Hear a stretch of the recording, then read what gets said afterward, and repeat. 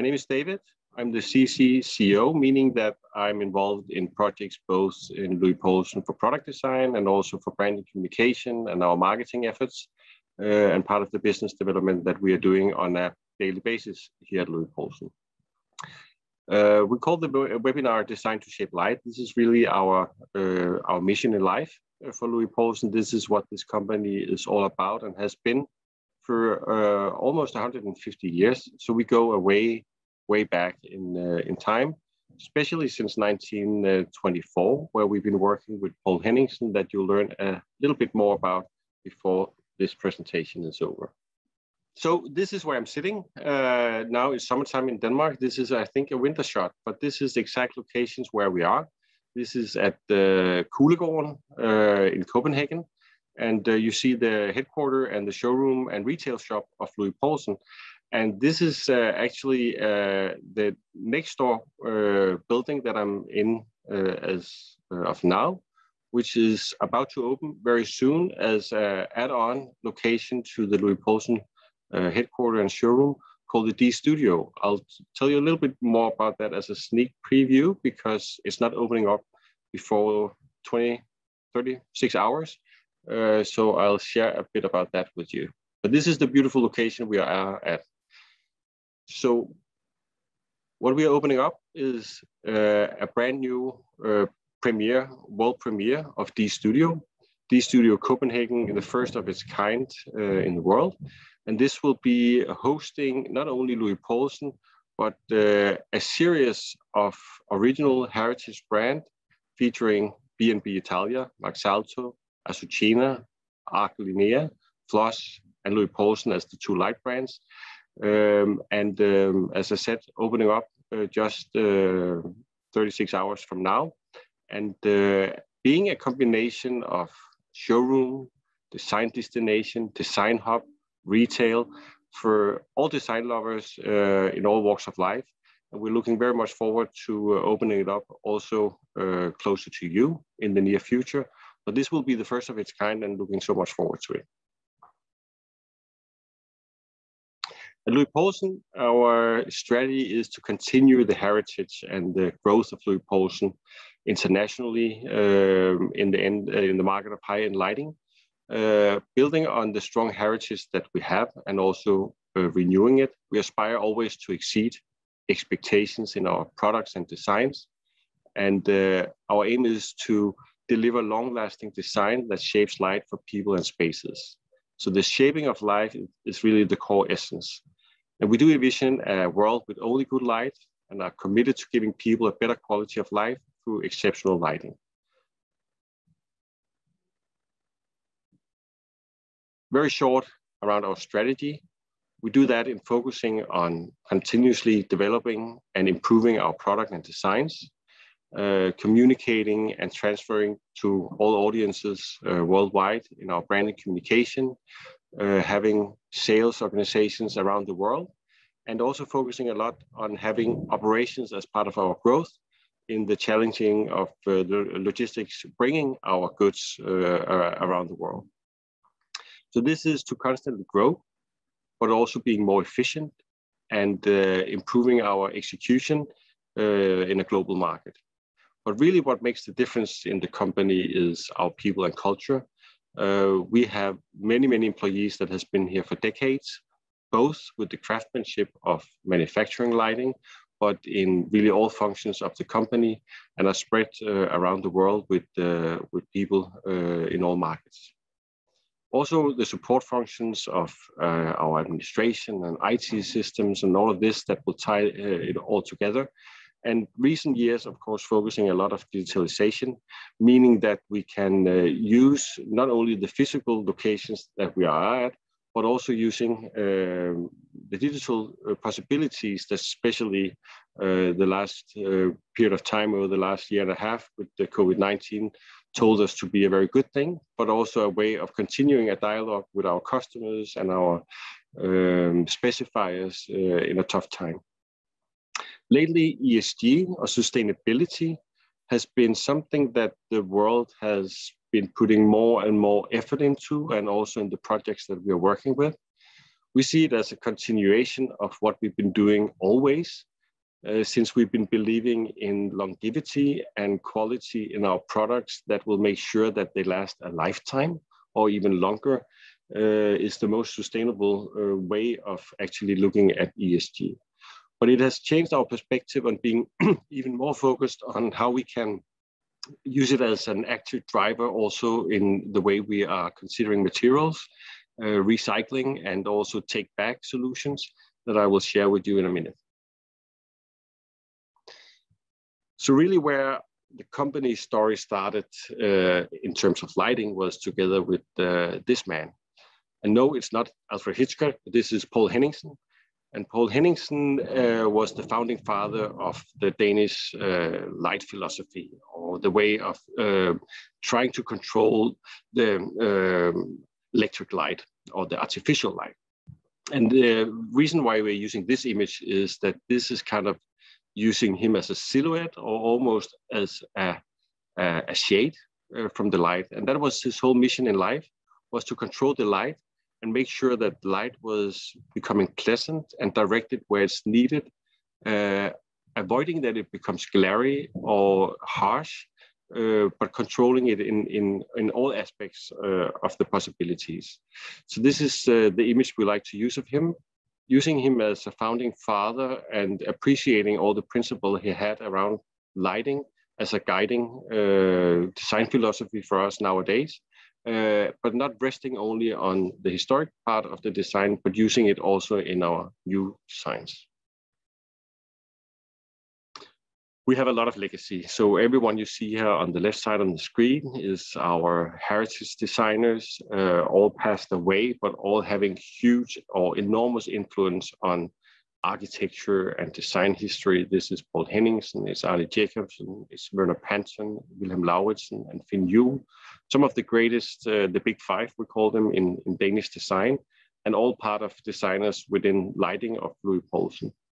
But also uh, the contemporary designers uh, that we work with uh, every day, uh, a lot of Danes, uh, but also designers from around the world.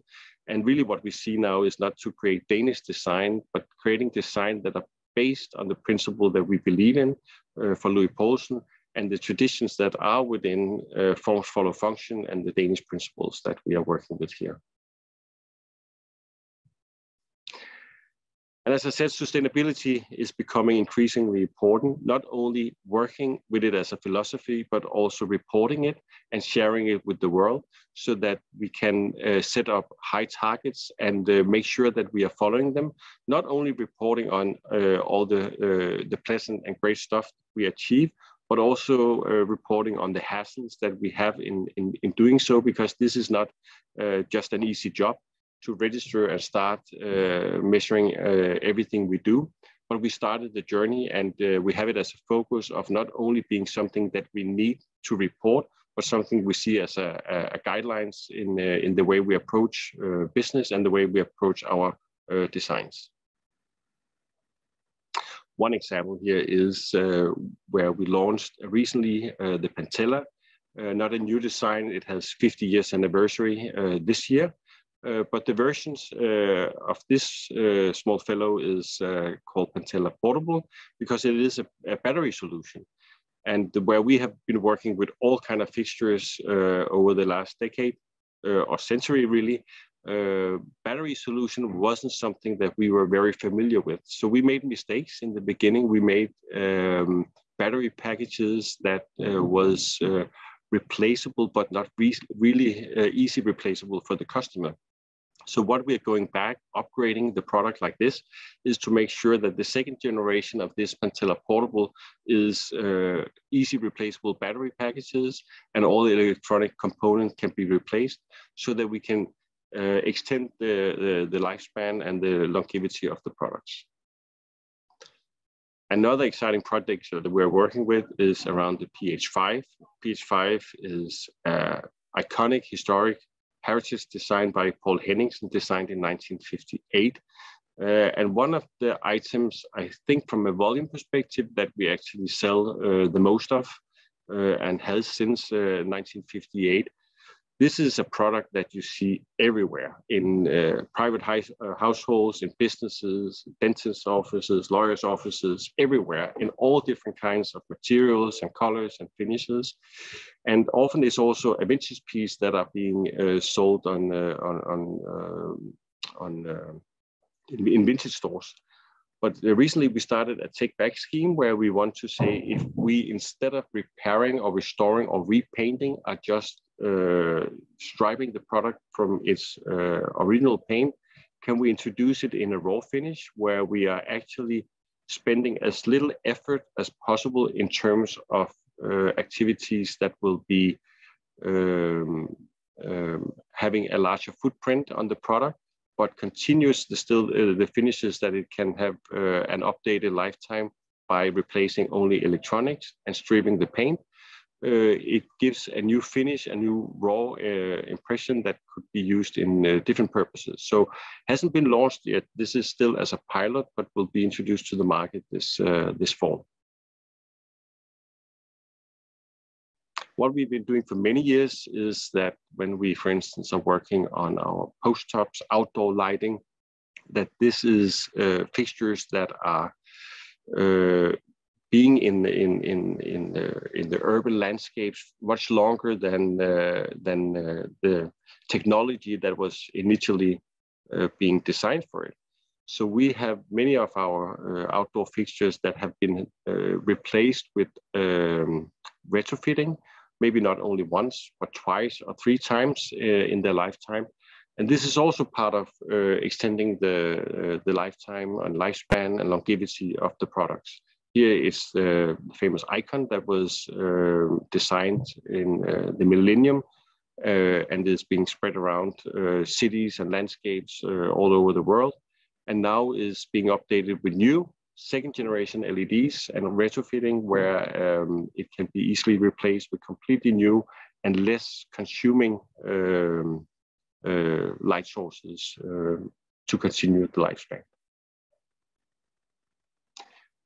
So a little bit about design to shape light and our philosophy. Here's a beautiful iconic photo of the artichoke designed also by Poul Henningsen in 1958. This was a great year of design for Poul Henningsen and for Louis Poulsen, maybe the most iconic and famous item in our collection.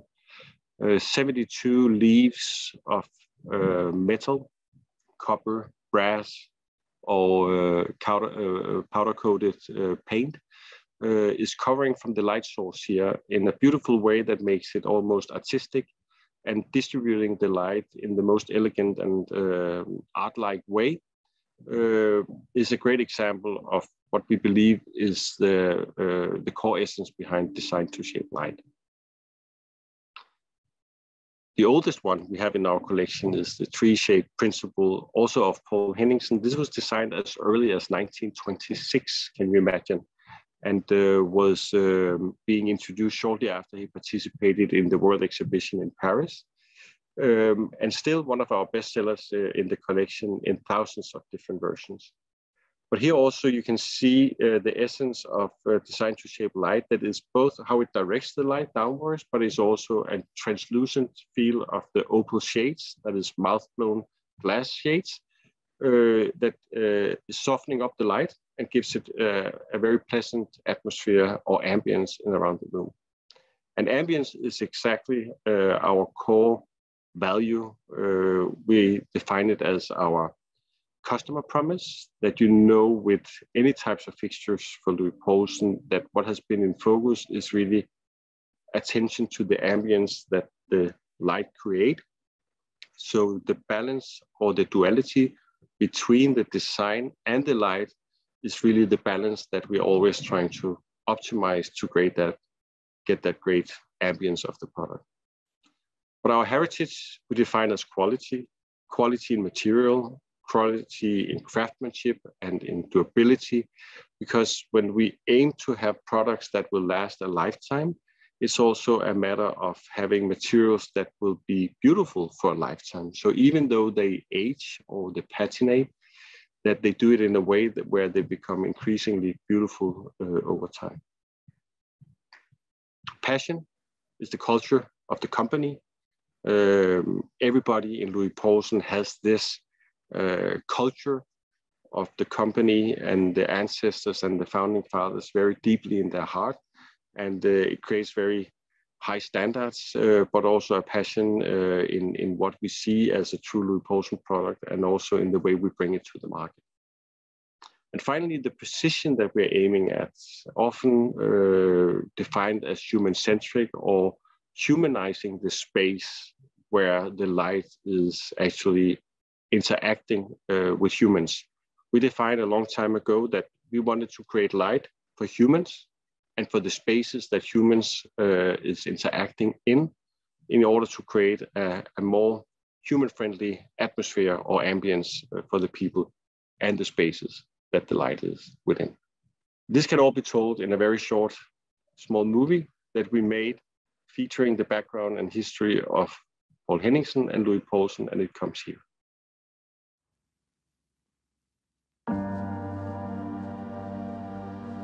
Louis Poulsen exists in the energy between dualities, light and dark, form and function, modern and classic, craftsmanship and innovation. In 1924, world-famous Poul Henningsen created the Paris lamp with Louis Poulsen.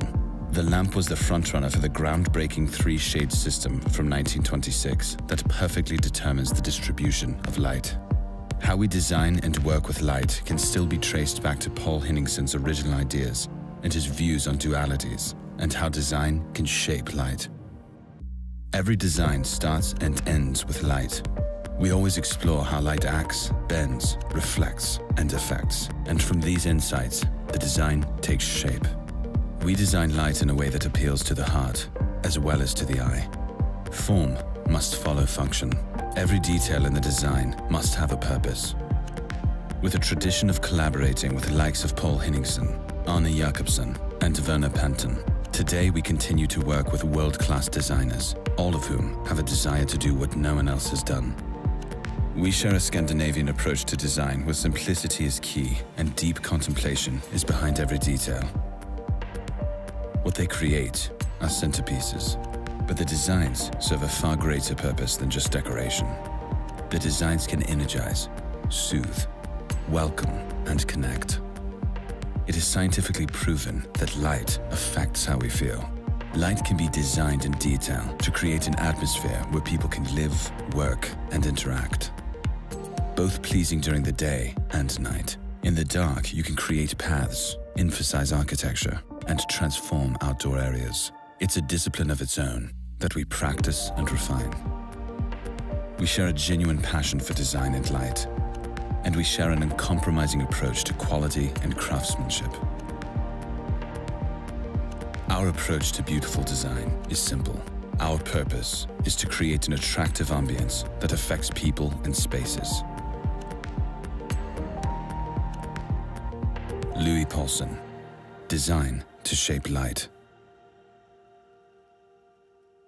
Hope you enjoyed the video. Um, a bit of an example on some of these values illustrated by the artichoke.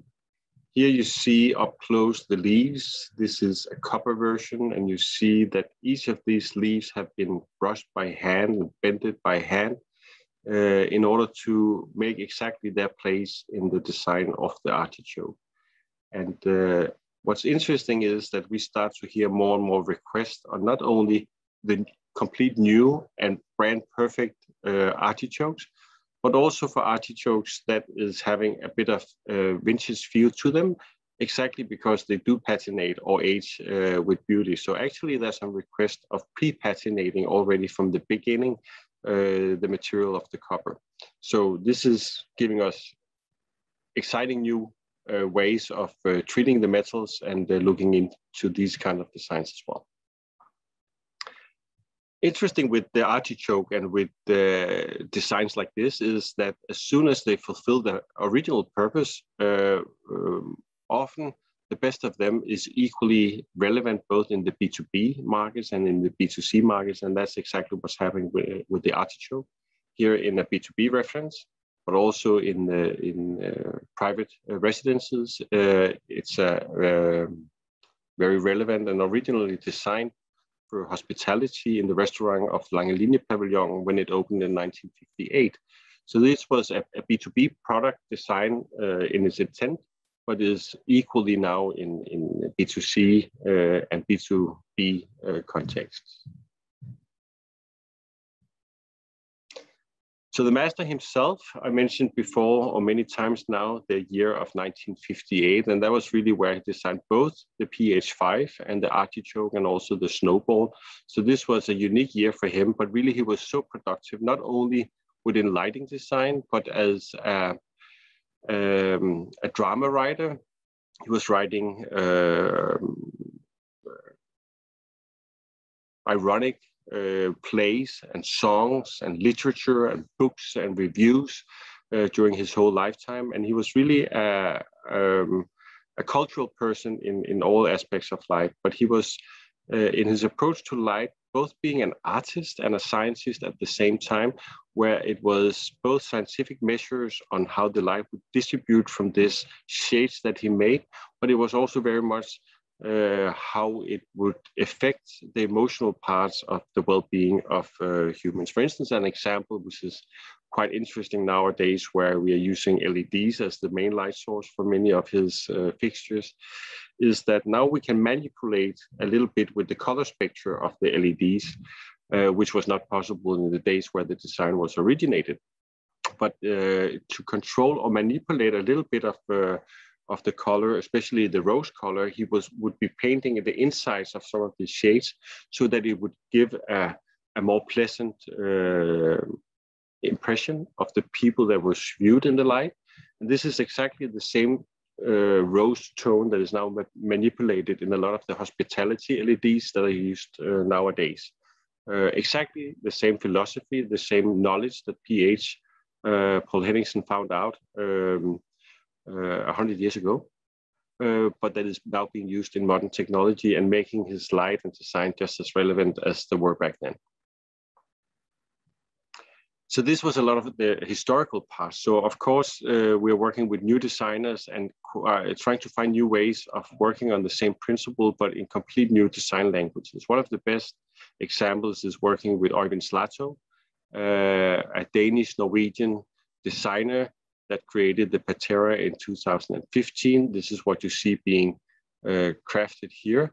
This is Øivind, uh, and working on his first prototype of trying to see how can you make new mathematical laws on creating shapes around the light source that actually will allow a full distribution of light, make sure that the whole fixture is lit by the light source, and at the same time making it completely glare-free so that you will not have any look into the direct light source uh, at the same time uh, inspired by the principle of Poul Henningsen, but interpreted in a complete new and different way than Poul Henningsen did it, uh, and ending up with this beautiful uh, masterpiece of Patera, where new versions is being actually launched uh, for the first time since 2015 uh, this year.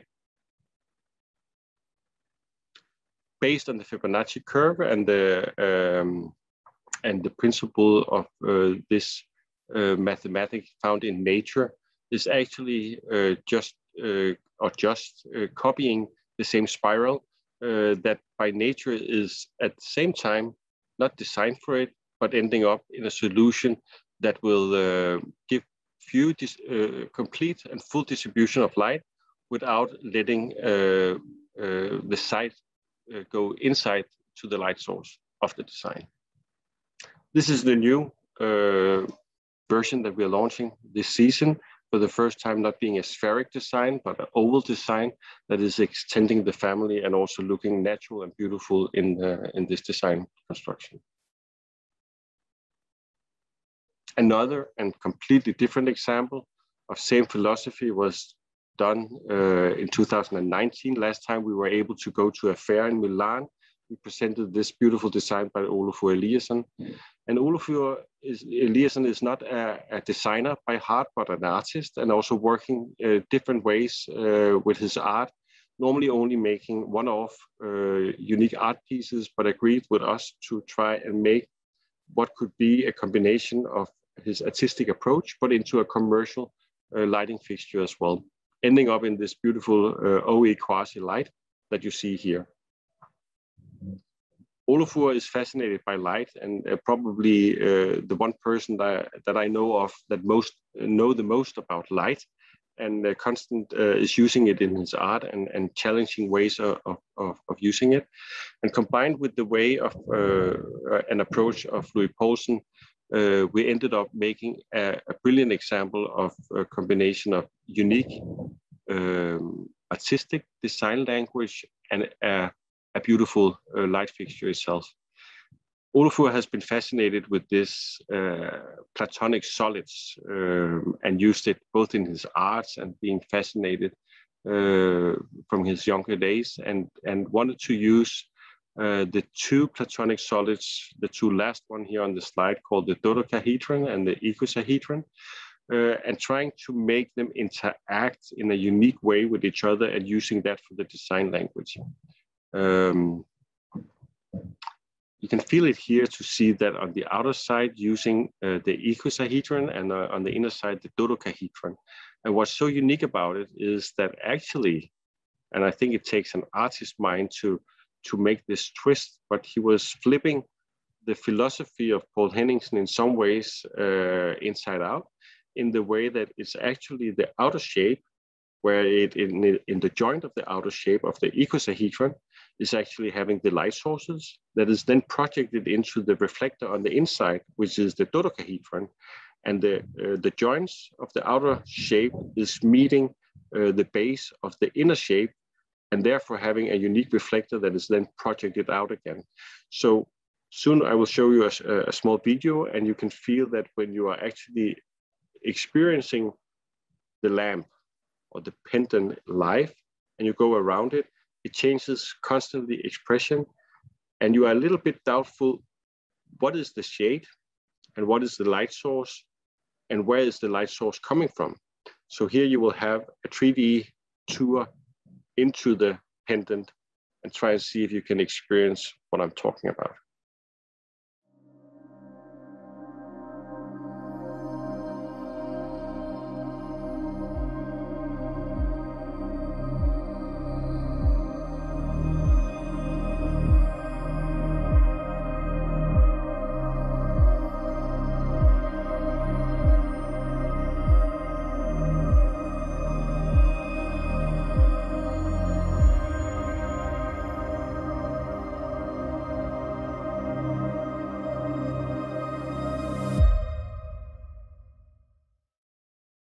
The work with Olafur and also working with the, the OE Quasi uh, also give inspiration on the ESG or the sustainability way of working. It was uh, a call to Olafur Eliasson that uh, we would be working with uh, sustainable materials.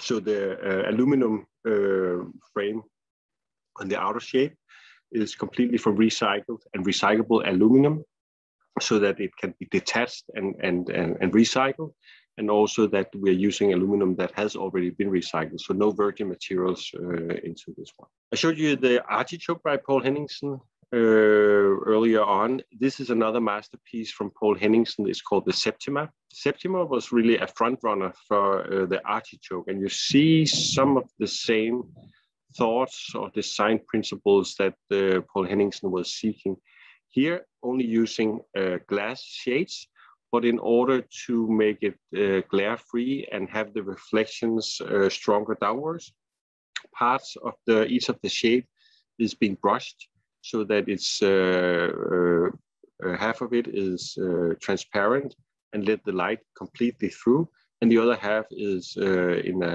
a, brushed, almost milky texture, so that it will prohibit that the glare gets uh, into the eyes of uh, whoever uh, watches it. This is a, a, masterpiece that was so difficult to make in the time of Poul Henningsen that it has been out of the market for so many years uh, until we re-engineered it last year and have just brought it into the market again, completely original to the to the design and shapes of it, but in a complete new uh, reconstruction or re-engineered uh, way of uh, making sure that when you assemble it and when you replace the light sources, you can do it without actually harming uh, the pendant. uh, and also upgrading with LEDs uh, um, the light source and experience at the same time.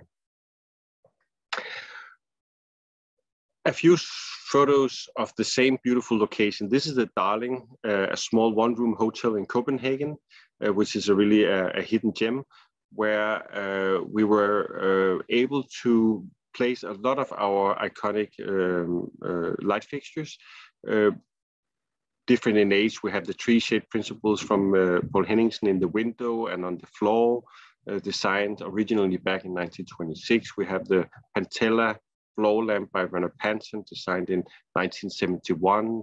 And we have the beautiful ring crown in the, in the ceiling from the from the 30s uh, by Vilhelm Lauritzen. And we have Arne Jacobsen unique floor lamp at the end next to the couch, uh, also designed uh, for the SAS Royal in the 1958.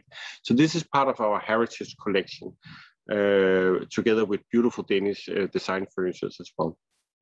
But what I want you to look at now is uh, in, in this apartment or hotel room, what happens when each of the fixtures get lit because what we believe in is that, of course, nowadays you can make just a, a lit ceiling or you can have uh, light fixtures that can efficiently uh, make the function of the light, but not making it pleasant. So what we believe is it was we call uh, islands of light, where the more light sources you lit up, you get actually the play between or the duality between the light and the darkness and this is where the drama begins. This is where you see the shadows. This is where your attention is pointed to special places uh, in, in the space.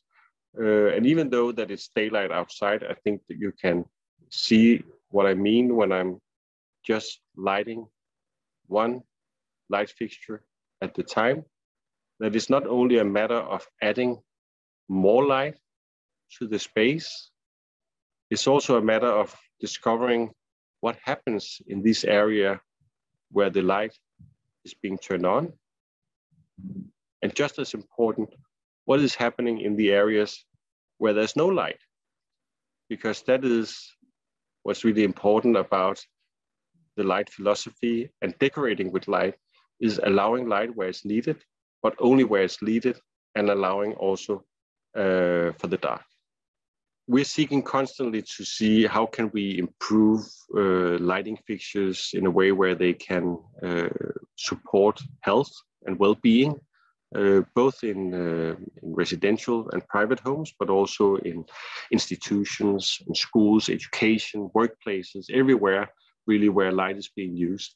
Example here in the school environment where we were working on with schools on having uh, tunable white or Kelvin adjustable where we can actually control the lighting so that it follows the circadian rhythm uh, of the sun, uh, because it's being uh, shown in research time and again that the more you can actually make sure that even uh, in the wintertime that you follow a path of circadian rhythm and uh, having a brighter light early in the morning when you're meeting into school the more alert, the more efficient uh, and ready for learning you will be.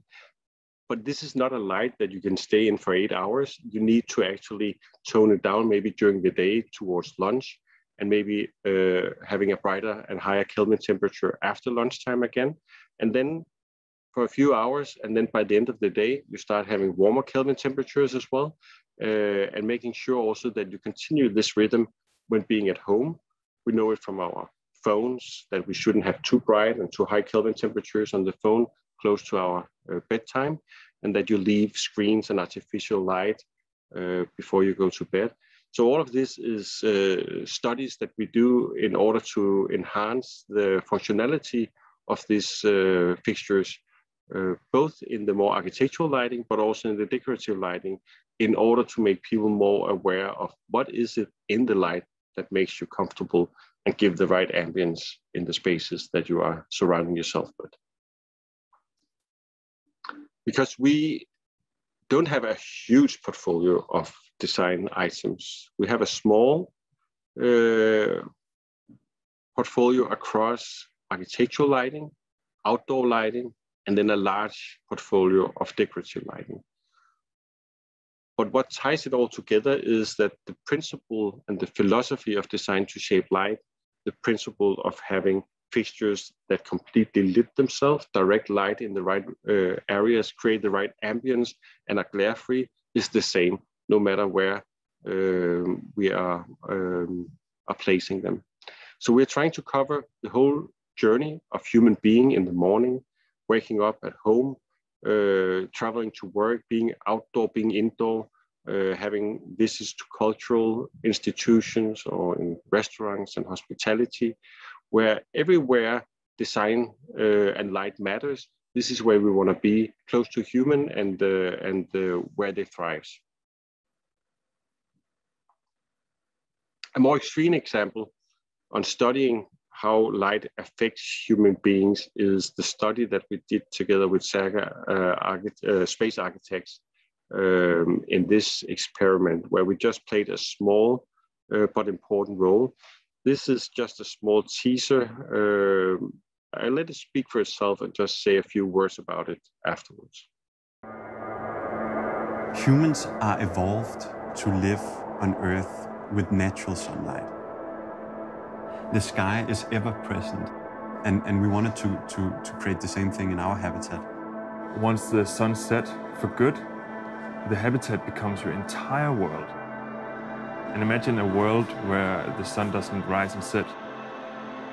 We tried in a way to create the most realistic moon mission possible.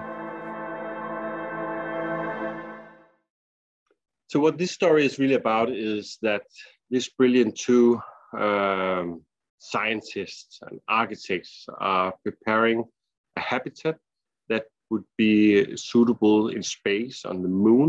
And they're testing it out on as North Arctic possible placing, uh, location uh, on Greenland. And they're spending two months uh, inside this habitat, completely blocked out from any daylight, any sun uh, light, and uh, just having the habitat fitted with a light panel that would change over time and give them some kind of circadian rhythm of natural daylight, but in an artificial space. And with them, they brought this small uh, portable, uh, where they would use it almost as they said, as a candlelight, giving a little bit of uh, sense of the warm, cozy light, or as we in Denmark say, uh, adding a bit of hygge.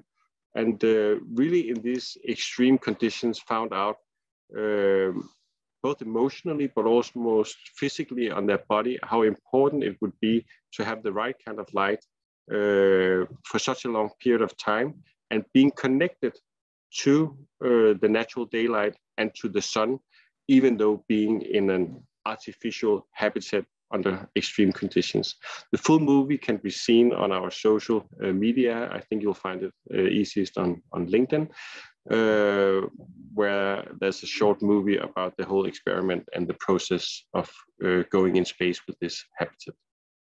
What also we study, of course, is uh, uh, urban outdoor areas on creating light. there's um, um, a trend or a mega trend in uh, all cities, all urban uh, developments, where everybody, all architects and lighting designers is becoming more and more aware the effect that light will do in making this uh, urban outdoor area pleasant uh, and how they can make sure that people will be comfortable and safe in these urban areas uh, during the day as well as during the night.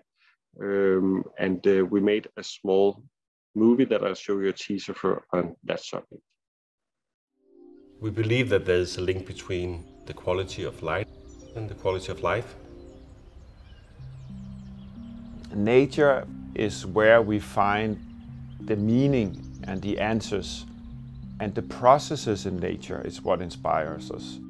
And we try to create spaces where people want to go. The light has endless opportunities to enhance and improve the urban life. What you saw here at the end was uh, architect from SLS uh, working on uh, urban outdoor spaces and creating this uh, outdoor spaces between the buildings and in the uh, natural um, uh, urban outdoor areas in the cities.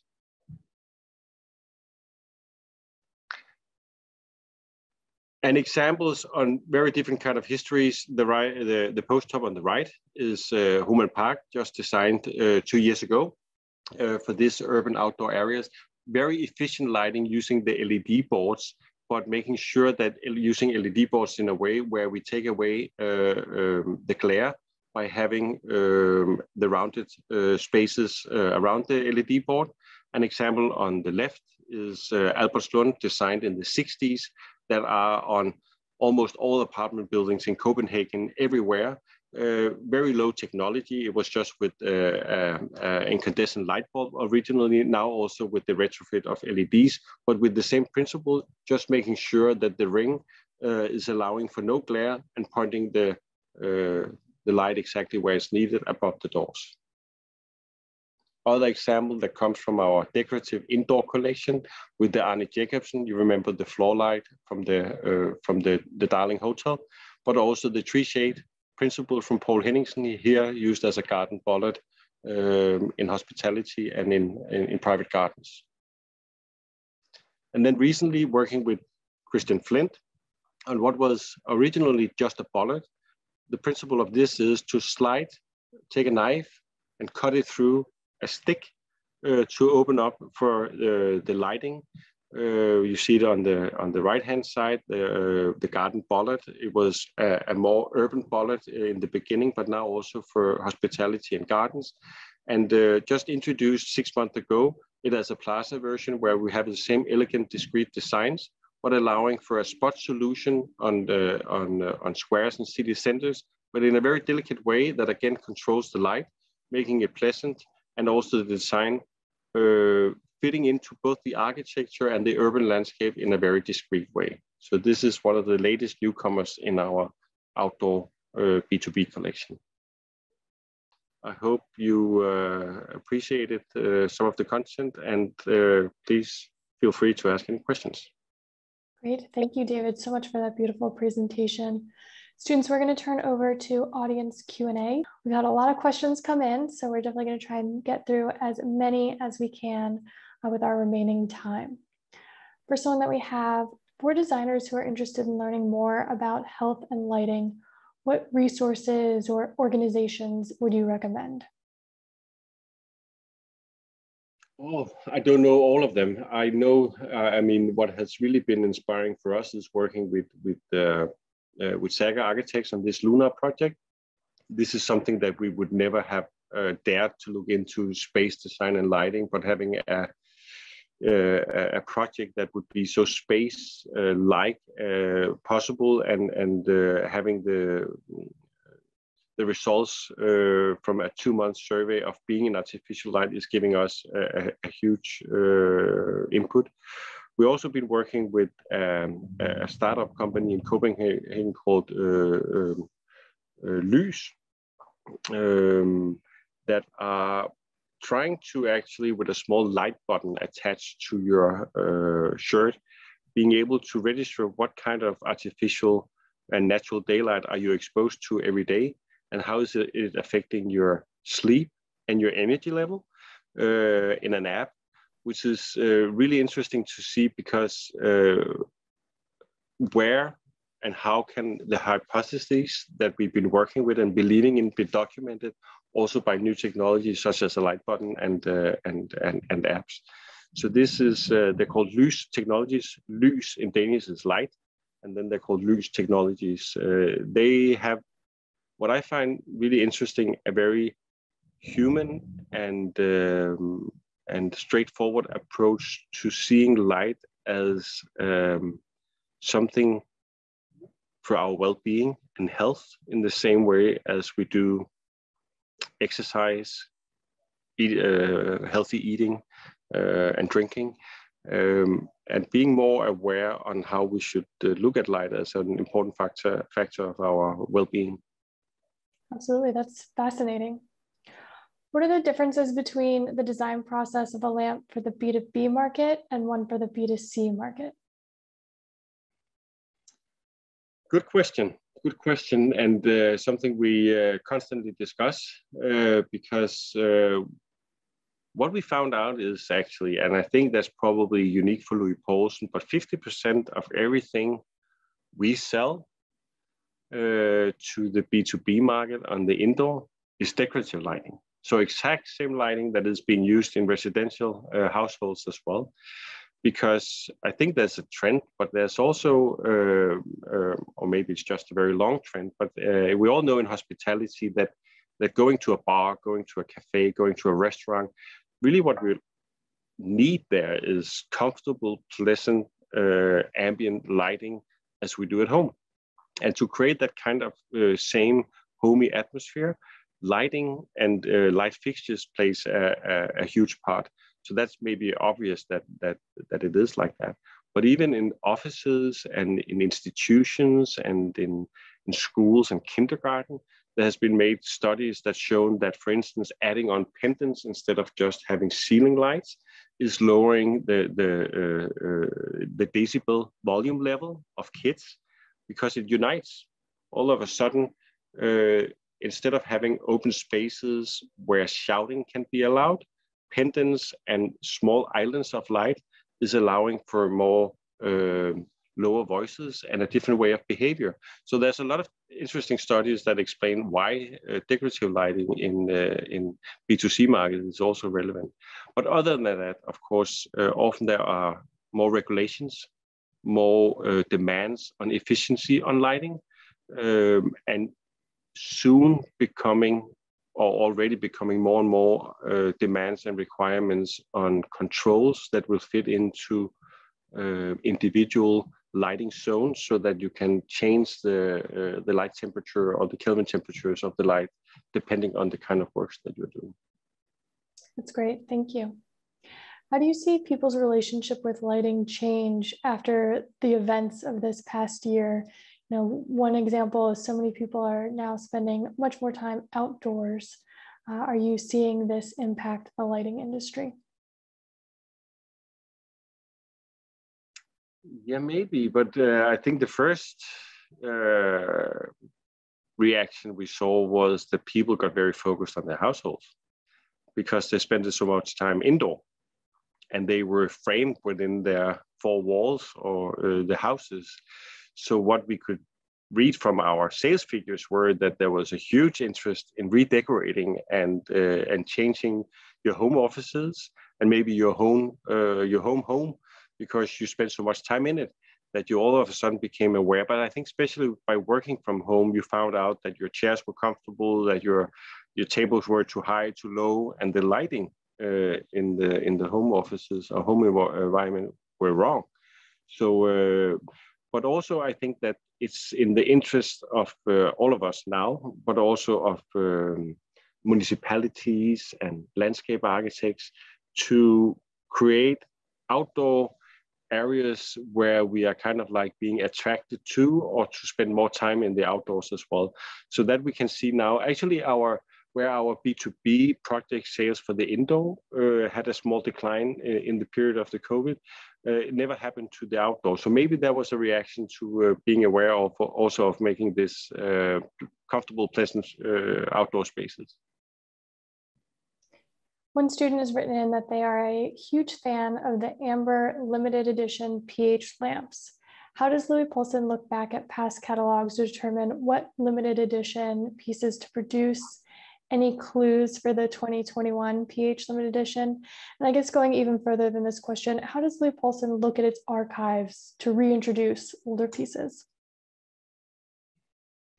Of course, we treasure it very high and we respect it very much in terms of um, of the the huge legacy uh, and, and heritage we have with with many of the designers, but Poul Henningsen in particular. So we we've been introducing a, a limited series uh, every year for quite some time, where we are, are, are, digging into the archives, and they are almost endless with Poul Henningsen, which makes it so interesting and, and fascinating. And there's a huge collector crowd out there that are, are waiting for that uh, new limited edition to, to be launched. We do it respectfully. We are trying to maybe find versions that have a bit more um, iconic uh, or heritage elements to it that is maybe also allowing it to be um, slightly vintage-like. Um, uh, but at the same time being um, original as they were back then, using same kinds of materials, a lot of the same kind of colors, uh, often only updating really the functionality and the and, and the light sources that's being improved. But for instance, uh, getting back to the amber glass was uh, a, a, huge process in terms of, of finding the right way of making mouth blown amber glasses in the right tones. So we've been continuing uh, that for a while. And uh, any hints on, on the, uh, the version for 2021, I can only say uh, it's my personal favorite until now. Uh, it's a, a, a, very iconic and unique piece that the collectors will know from the past, but haven't seen for several decades in the market. Perfect. Well, we can't wait to see it. Are there any products uh, already made of recycled material? Sorry, I, I, need to have that again. Sorry. Any products made from recycled material? Uh, not 100%, but uh, you can say that uh, in, in many, many cases, uh, we try where we can not to use virgin materials, whether it's being in aluminum or metal or in plastic. Um, and that's kind of like what the whole industry is is uh, is going through at the moment. And I think we can make it different on on on single elements. But what we're doing is is a huge pushback to the to the industry and the suppliers in each categories to use recycled uh, materials and um, uh, and elements in the design. Mainly, what we focus on is the longevity, not virgin materials, and uh, spare parts and replaceable uh, electronic components so that instead of uh, um, of it being the end of uh, a product lifecycle when uh, a shade or an element is broken, it can be replaced. Uh, that's our focus at the moment. Great. How does the reclamation program work? The reclamation, so the in terms of what do you mean by reclamation? I think it was something that you had mentioned earlier. Oh, the reclaiming, yes. The take back. Is that it? Yes, I think so. Yes.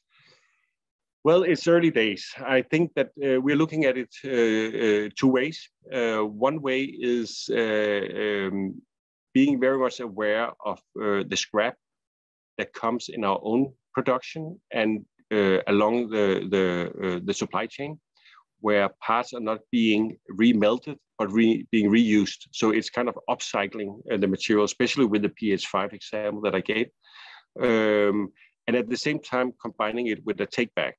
So we are looking at what, how we should, uh, I mean, in Denmark, we have uh, a, very strong uh, recyclable uh, in all of our aluminum uh, bottles and glass bottles that is uh, organized in every supermarket and, and, everywhere where we're giving a, quite a high price on bottles to make sure that it goes into the same uh, re recyclable take back system. And, and we know that we cannot, as a, a sole pro manufacturer, do that by ourselves. But with this special product, we, we are aiming to have a, a take back system where we are, are, making the value of the product equal to um, the sell value of a, a perfect um, vintage product in the same category.